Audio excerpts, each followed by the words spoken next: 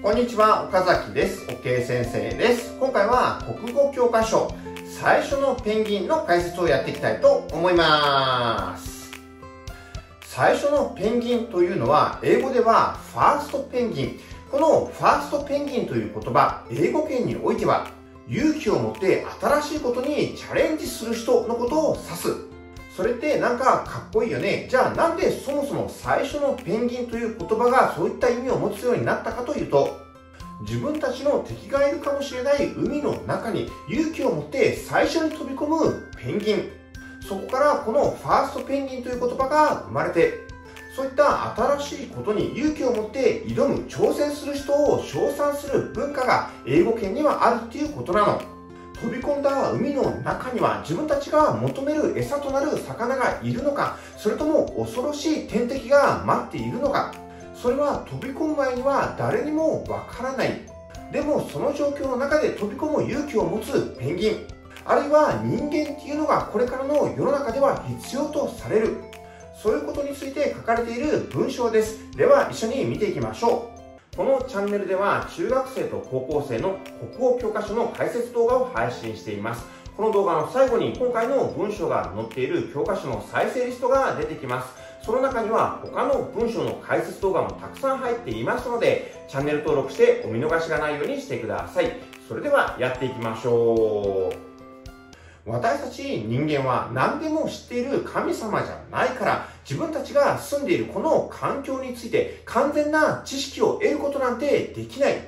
いくら科学が進歩していったって私たち人間にはわからないことがたくさん残っている。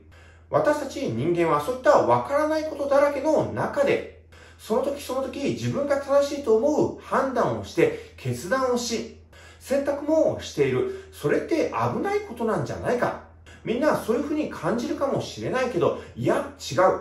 だからこそそこに想像というものが存在するんだ。そういうふうに筆者の茂木健一郎さんは主張しています。これがね、もし何でも分かっちゃっている。すべてのことについてあらかじめ見えている、知っている、神の視点を持つ人間がいたとしたら、あるいは AI とか他の生物なんかが登場したとしたら、そこからは新しいものが生まれることなんてないんだよ。こういうふうに筆者は言っているんです。だってそうでしょ？全てのことが分かっている、見えているって言うんだったら、そこにはもう新しい発見なんてものは存在しないし、何が新しくて何が古いのかなんて区別もなくなる。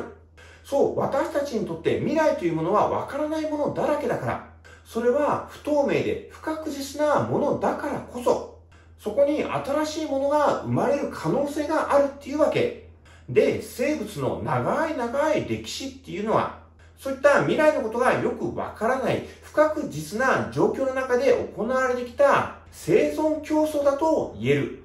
この地球上に生まれたどの生物もそれは人間も含んでいるけど、神の視点なんて持ち合わせていなかった。未来のことなんてわからない不確実な状況の中でお互い精一杯生きるという生存競争が行われてきたわけ。これは最初に言ったペンギンの決断だって同じだよ。みんな水族館とか動物園にいるペンギンをじっと観察したことはあるかな今度プールの縁に立っているペンギンをちょっと見ていてほしいんだけど、そのペンギンは水の中に飛び込む素振りは見せるけど、なかなか飛び込まない。OK 先生はペンギンがプールの中に飛び込む瞬間っていうのを見たかったから、じっとそのペンギンを見ていたんだけど、それでもなかなか飛び込まないから諦めて別のことに注意を向けていると、いつの間にか先ほどのペンギンはそこにいない、すでにプールの中に飛び込んでしまっているわけ。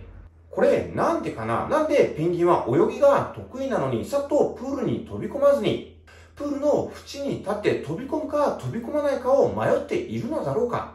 これは自然界におけるペンギンの本能というものが水族館とか動物園のペンギンにも残っているから自然界においてはペンギンが海に飛び込むという決断をするためにはなかなか大変な心の葛藤というものがある。ペンギンが食べる魚などの餌は海の中にしかいないから氷の上から飛び込んで海の中に入るしかない。でもペンギンは迷いなく海の中に飛び込めるわけではない。なぜなら海の中にはオットセイやトドやシャチといった恐ろしいペンギンにとっての天敵がいるから、気軽に海の中に飛び込んで、もしそういった天敵が待ち構えていた場合、自分が食べられてしまうかもしれないから、できたら他の仲間であるペンギンたちが飛び込んだ後に海の中にそういった天敵がいないってことが分かった上で自分は海の中に飛び込みたい。そういうふうに一話一話のペンギンたちは考えるわけ。でもみんながそういうふうに考えてしまった場合、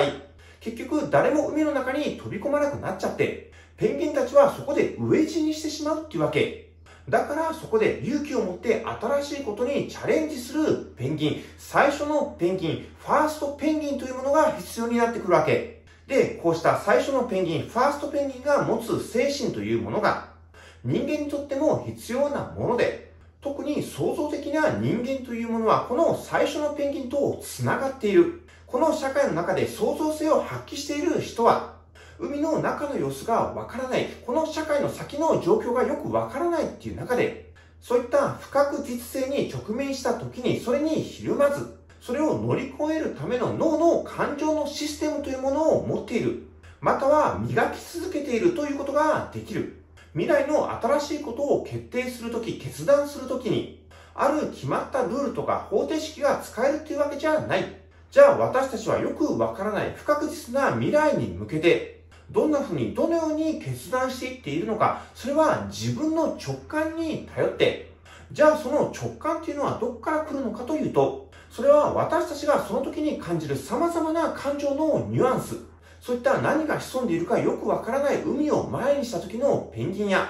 よくわからない未来を前にした時の人間が感じる感情、そういう時に自分がどう感じるか、自分はどんな大学に行こうか、どんな職業で働いていくか、そういった時や自分はこの人と結婚しよう、そういうふうに決断する時、どれが正しい答えなのか。なんてことはわからない。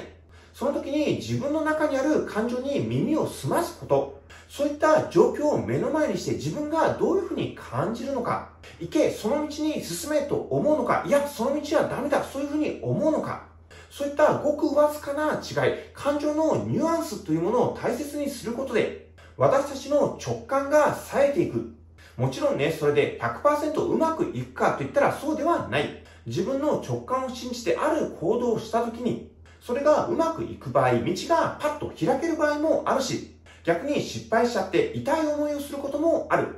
でも、だからといって、いつまでも行動を避けたり、確実な正解がどっかにあるはずだと思ってそれを探し続けること。それは間違いであり、危険ですらある。もし先ほどのペンギンがそういった考え方に取り憑かれてしまった場合、いつまで経っても海に飛び込むことができなくなってしまって、結局飢え死にしてしまう。人間はどこかで不確実さに立ち向かって、そこに向かって行動を起こしていく。そういう選択を迫られることになる。だから私たちはそういった不確実さに立ち向かってそれを乗り越えるための感情の技術というものを磨いていかなければならないの。これからの社会、AI とかコンピューターだったら正しい答え、正解を教えてくれるかもしれない。そういうふうに考える人がいるかもしれないけど、それはちょっと違う。コンピューターというのは基本的に新しいものを生み出すことができない。コンピューターにはまず確実な前提条件というものを与えてあげる必要があって、それを利用して AI やコンピューターは理論を積み重ねていく。自分たちが持つアルゴリズムやルールに従って、論理的に演疫を積み重ねていくことによって、ある前提から結論を出していくわけ。でも未来っていうものはそういった全てのことが分かっているわけではない。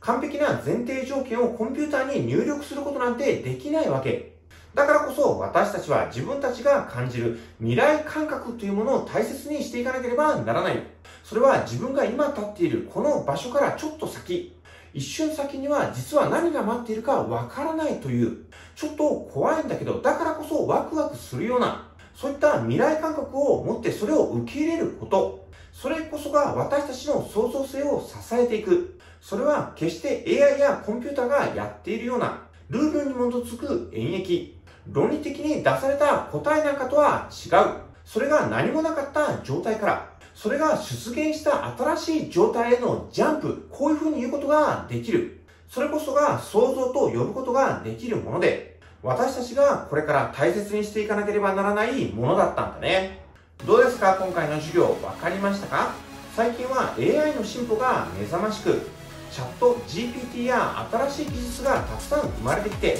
私たちの暮らしをどんどん便利にしていってるけど自分たちがこれからどうやって生きていくのかそこの重要な部分は結局は私たち自身にかかっているそのことを教えてくれる文章でした。皆さんも最初のペンギンファーストペンギンを目指してこれからも頑張って生きていってください。それでは今回の授業これで終わりにしたいと思います。いつもいいねコメントありがとうございます。これからも頑張って授業動画を配信していきたいと思いますので応援のチャンネル登録よろしくお願いいたします。それではまた次の授業でお会いいたしましょう。さよなら。